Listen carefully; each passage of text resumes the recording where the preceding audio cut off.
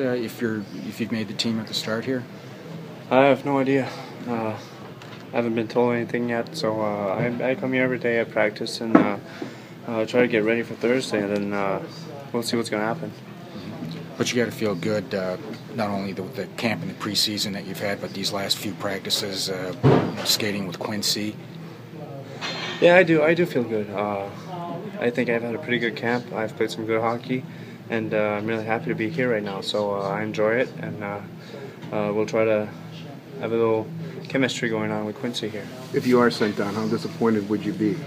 Uh, for sure, I'll be disappointed, but uh, at the same time, I gotta keep working. I gotta keep doing my stuff. I gotta go down there and play hockey and uh, try to be the best and uh, get ready if uh, they need me up here.